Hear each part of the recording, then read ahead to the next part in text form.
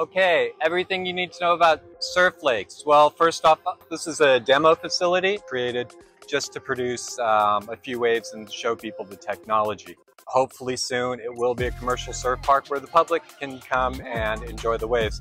They will redo the shoreline. Right now the plunger behind me sends out a wave, uh, set of waves, set of four waves every six minutes. That will change to four waves every 90 seconds once they have the new plunger installed. Area of the shoreline will be relined with uh, new concrete. The thing I noticed about uh, surfing here is that you have more of an open feeling. Uh, it's, it's like an ocean wave.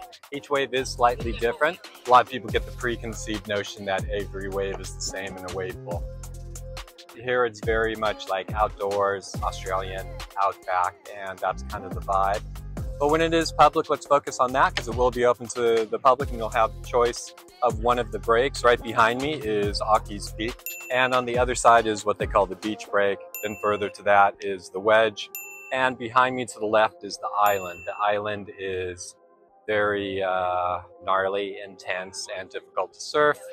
Um, right now the water is brown because they have a liner that they installed just to test the facility and that liner has come up the new pool bottom construction, uh, the water will remain clear. All right, and uh, that's about it. Hope to see you out here in a year or two.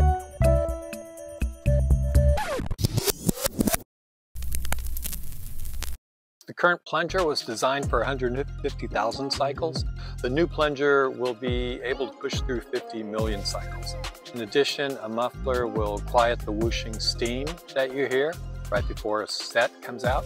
And there will also be an addition, uh, a new break that will mirror Aki's Peak, but with an easier takeoff. And of course, the lake will be surrounded with uh, public wave pool amenities and comforts, restaurants, cafes, and such.